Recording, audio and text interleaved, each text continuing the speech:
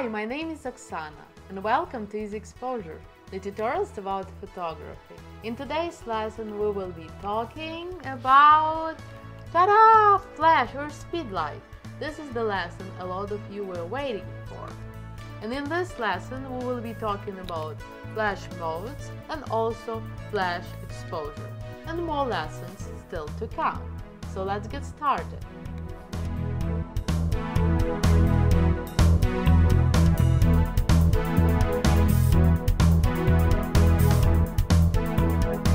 First of all, let's talk about basic flash modes you can find in your flash unit. And the first mode is a manual mode. In this mode, photographer is the one who sets the power of the flash.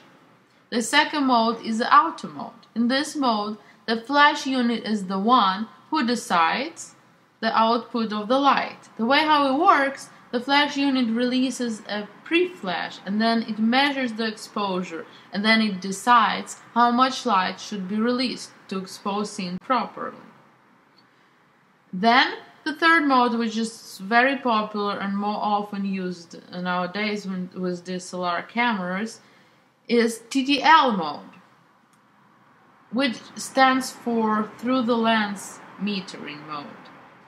In this case, unlike in auto mode, the camera is the one who is metering the pre-flash.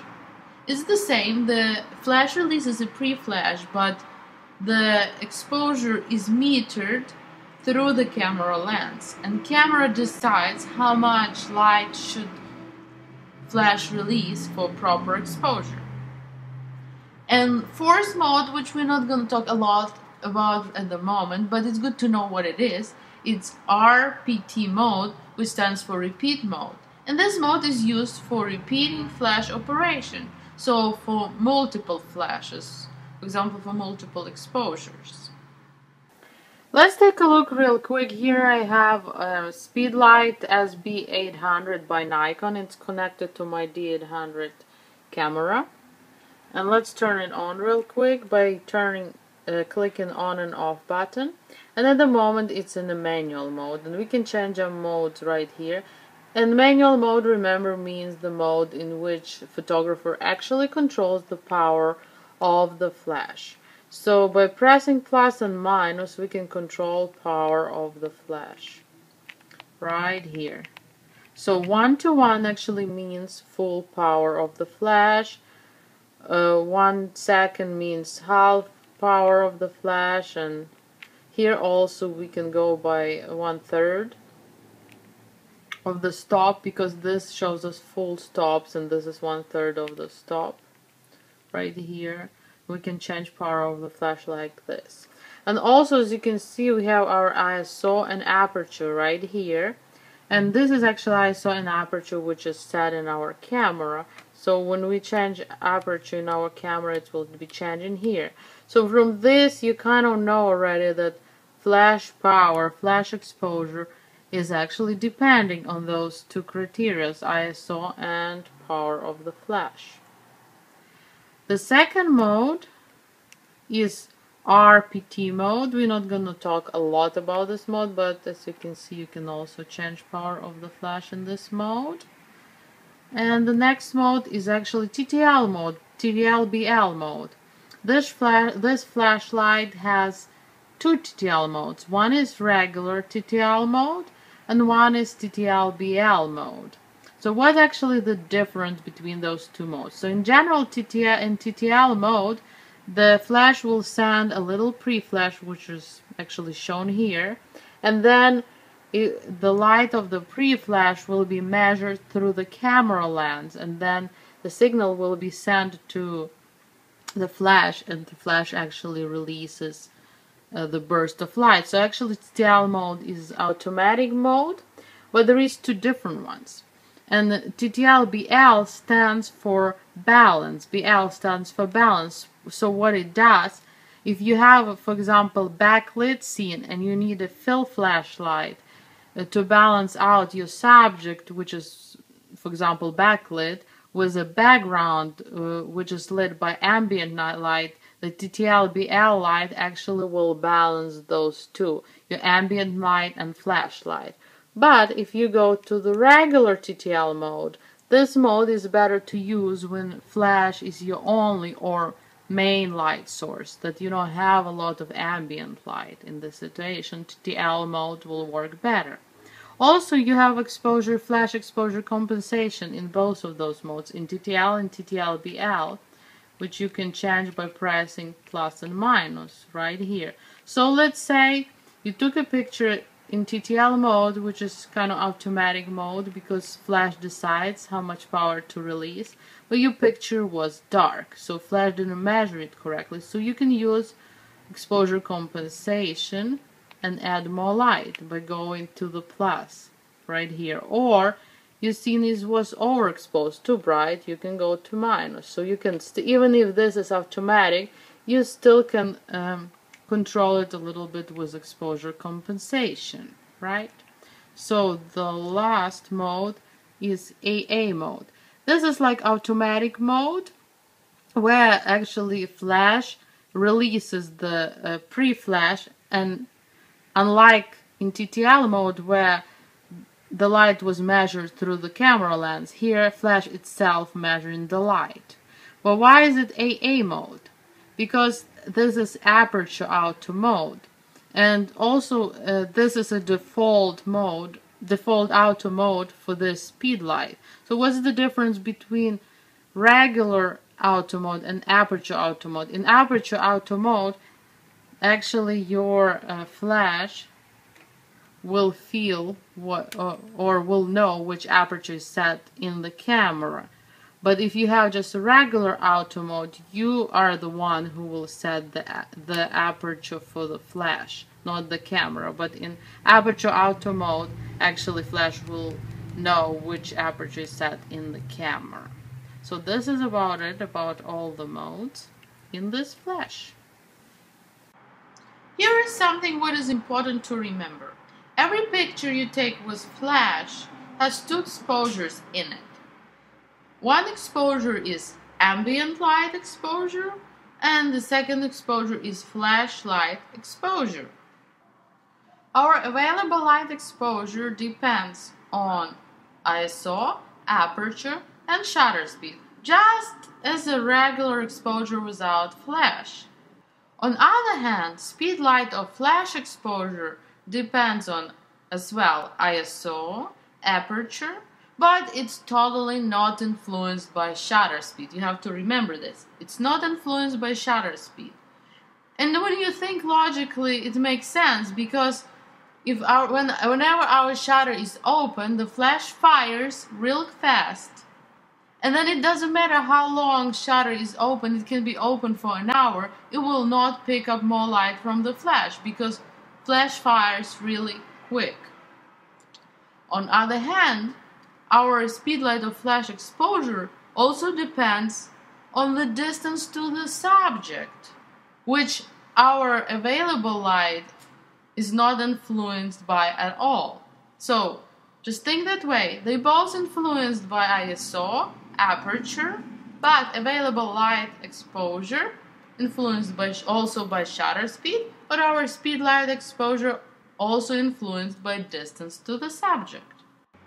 And here you just have real quick review on how aperture shutter speed and ISO influence our exposure. So the bigger the aperture opening, the more light we get, the slower the shutter speed, the more light we get, and the higher the ISO, the more sensitive to light sensor will be, so the more light we'll get.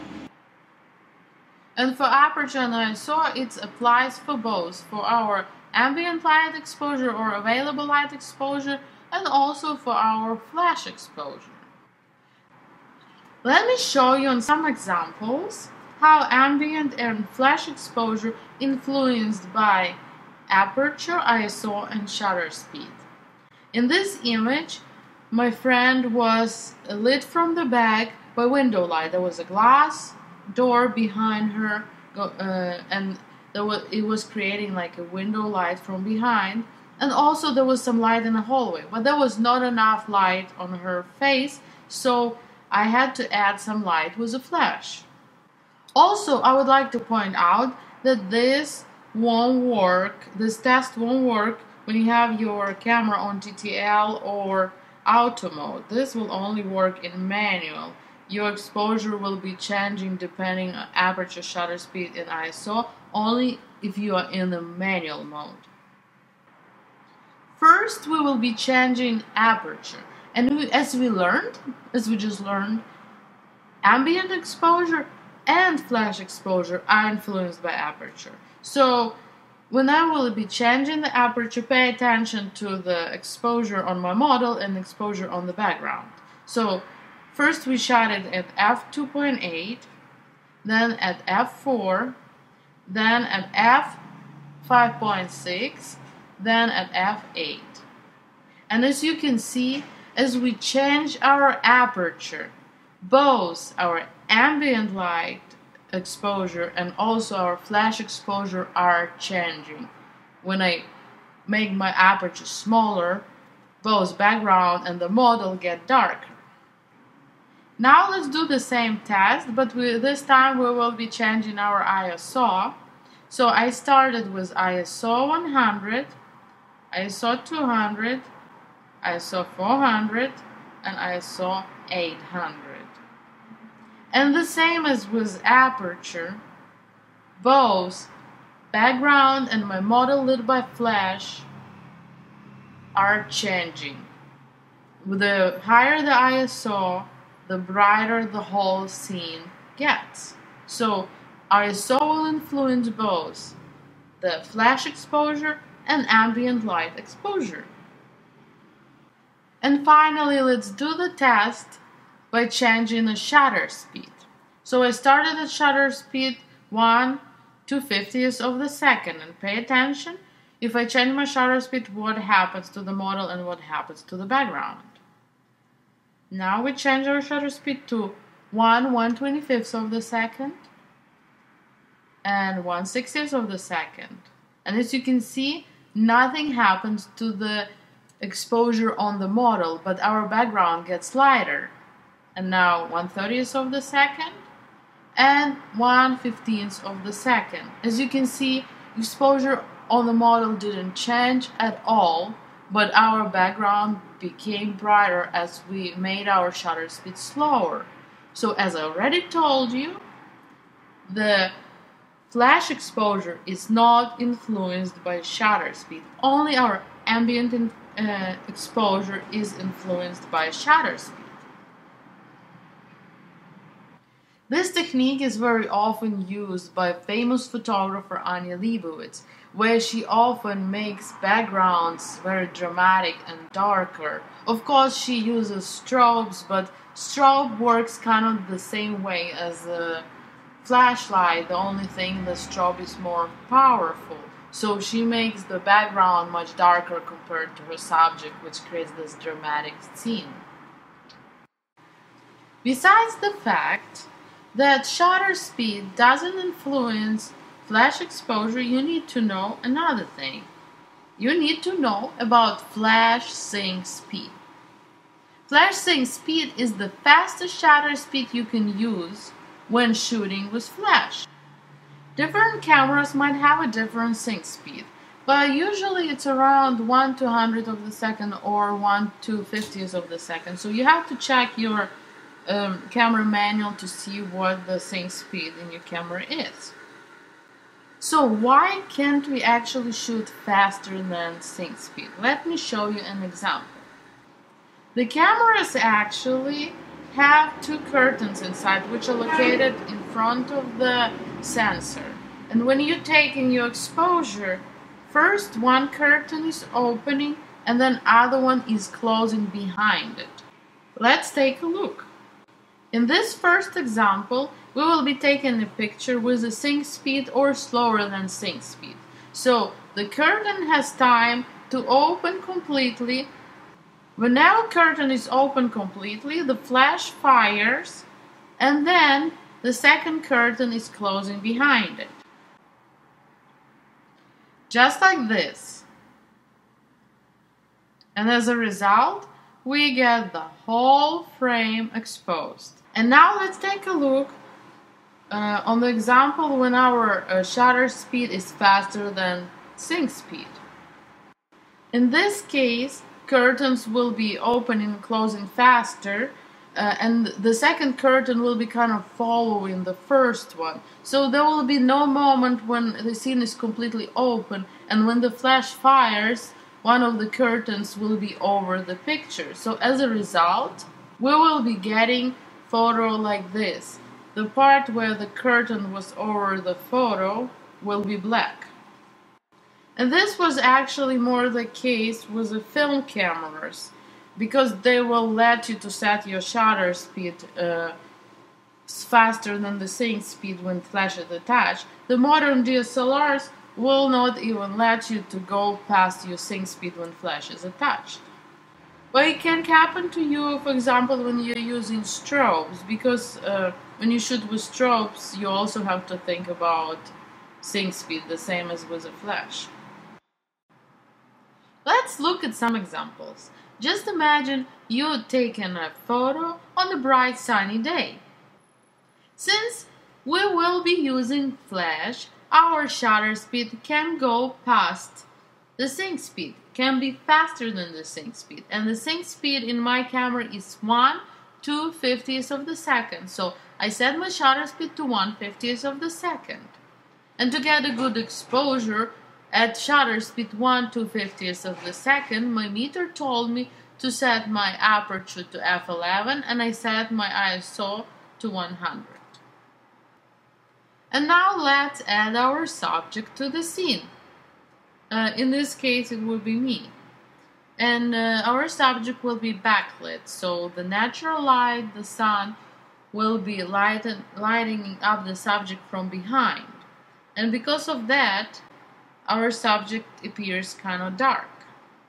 So if we take a picture without no flash, that's what we get. Our subject will be kind of dark. Some cases it might even look just like silhouette. Let's say if we were taking pictures during the sunset. Sunset is so much brighter than our subject on the background. So what we need to do is to add some flash, to add some light to our subject. I will be using flash in a manual mode. Ideally, we would be measuring our flash power with a light meter, but since a lot of you might not even have a light meter and uh, or might not know how to use it, in this case I will not be using a light meter, but in my next videos uh, I will show you how to use the light meter in different situations. So, how to do it without light meter? You can always try it out, just test it out. Just start at the full power and this picture was taken at the full power and as you can see I look too bright. So let's just try to cut the flash power in half. And as you can see it looks much better but still a little bit on the bright side. Now let's look use our flash in the quarter of the power and I think I like this one but let's try 1 8 of the power as well and also 1 16th of the power and 132 of the power just to see how the picture will be changing depending which power of the flash we use. And as you can see our background stays the same because our general exposure is the same but because we are changing the flash power the exposure on your backlit subject which is me is changing. I think a quarter of the flash power works for me the best. I also want to show you other flash modes which can be used in this case or cannot be used in this case. Let's try to take this picture in TTL mode. And our uh, ambient exposure, our natural light exposure stays the same and we just took this picture. Just only thing we changed is the flash mode to TTL.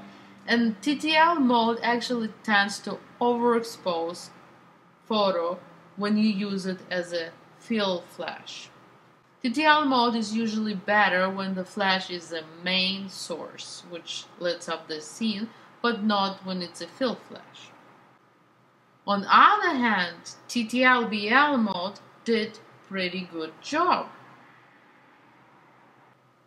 Let's compare our favorite flash exposure in manual mode to TTL BL mode exposure and as you can see they are very close to each other.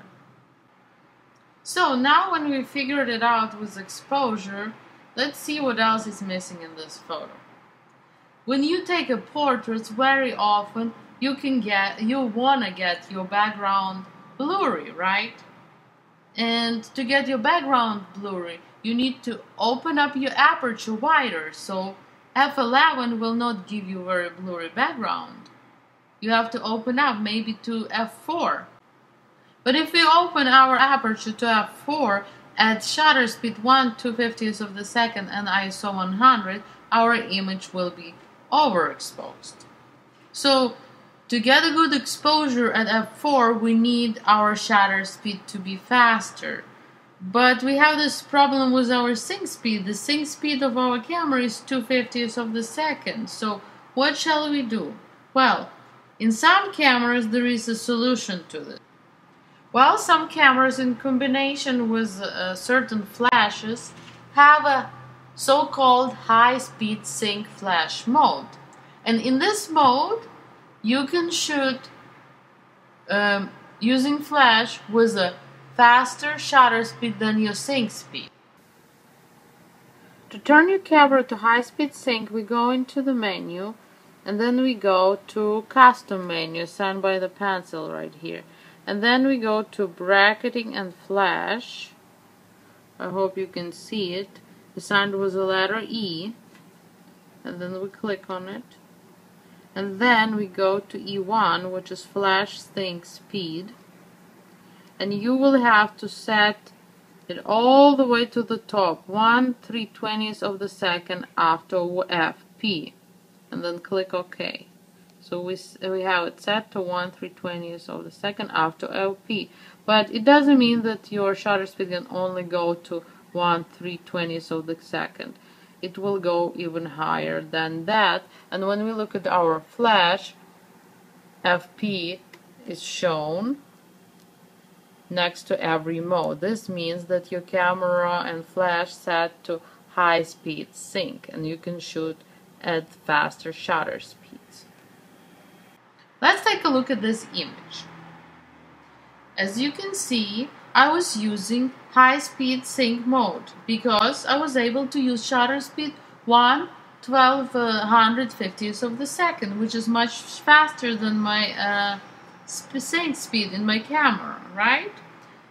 And I used um, the power of the flash, which is quarter of the power of the flash, which I actually liked on our previous tests. But in this case, for some reason, I am underexposed. Our subject is underexposed. So why did that happen?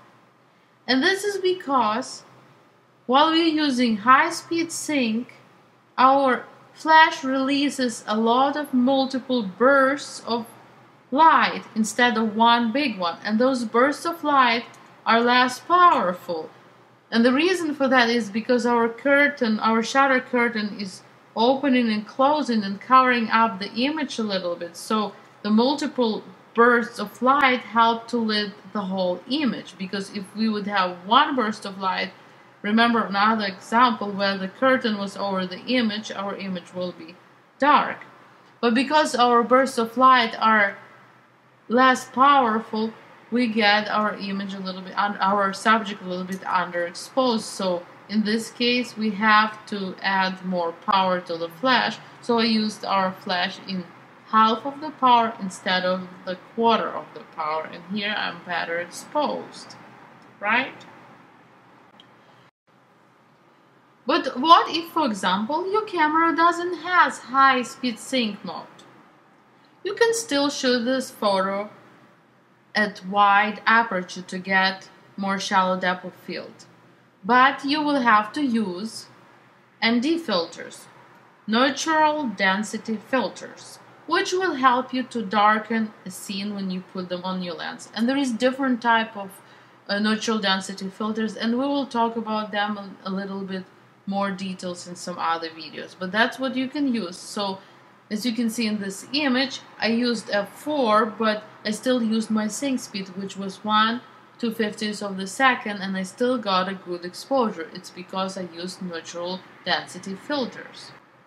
Let's compare the images I took uh, at high speed sync uh, mode and the image I took was a neutral density filter. As you can see, I had to use uh, more flash power for the image I shot with uh, high-speed sync to get the same exposure as I got with neutral density filter. Because uh, when we shot an, with neutral density filter, we used our sync speed, which gave us one powerful burst instead of multiple uh, small bursts of light, which uh, we get from using high-speed sync. And now let's take a look how distance to the subject influenced our flash exposure.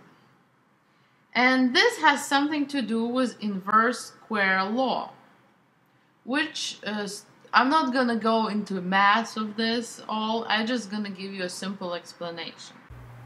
The subjects which are closer to the flash unit will be more illuminated than the ones which are further from the flash unit. And here I have a little diagram.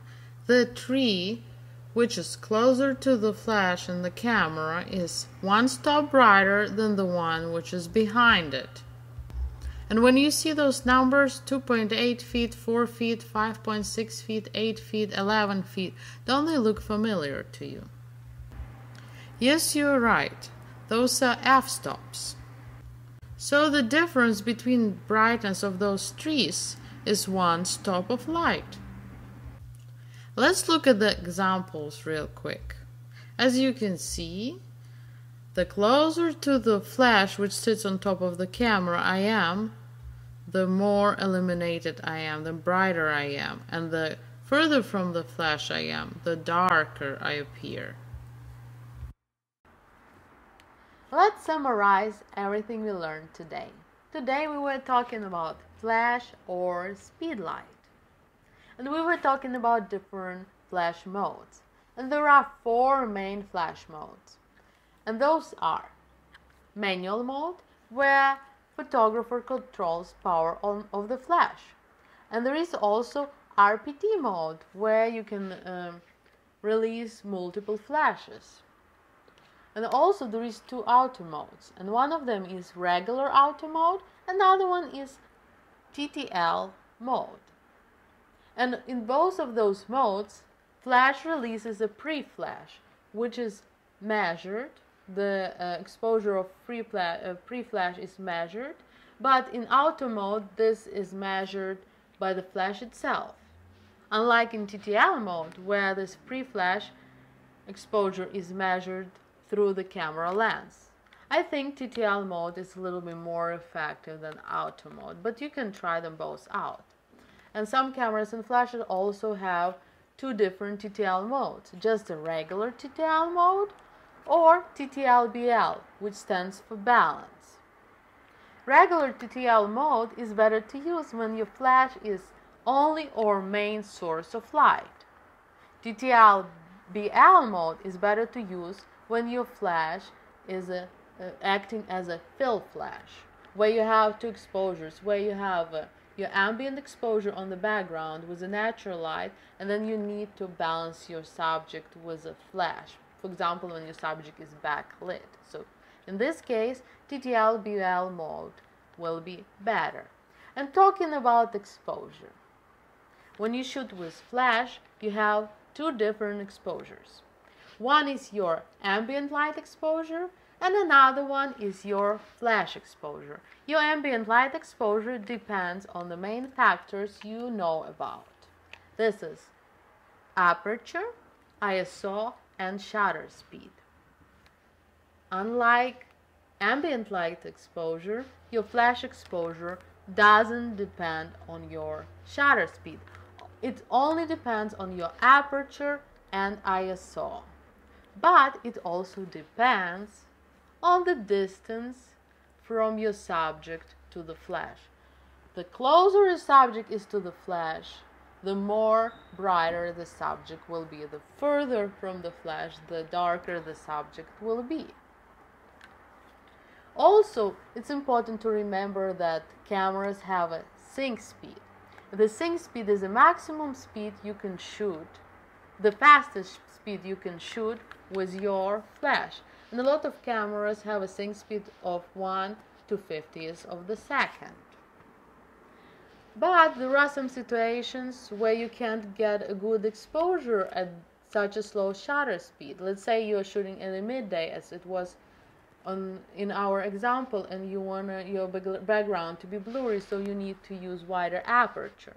So in some cameras there is a function which called uh, high speed sync. And when you set your camera at high speed sync, it lets you to shoot at faster shutter speed than your sync speed. But the difference between uh, your sync speed and fast uh, speed sync is that when you shoot at your sync speed or slower, the camera, the flash will release one strong burst of light. But when you shoot at faster shutter speed than sync speed, at your high speed sync, you will get a lot of multiple bursts of light to lit the scene properly while the shutter curtain is opening and closing. In this case, your flash will be less powerful. You have to keep that in mind. Also, another workaround in that situation is to use ND filter, neutral density filter. And they look like this. There is different neutral uh, density filter. This one is flexible one, so you can actually change its density while ro rotating the filter. All right. And this is actually all for today but there is more lessons to come about flash and i will do a live shootings um, where i will show you some examples how to use flash in certain situations so stay tuned and i hope this lesson was helpful to you to get started with your flash see you next time bye bye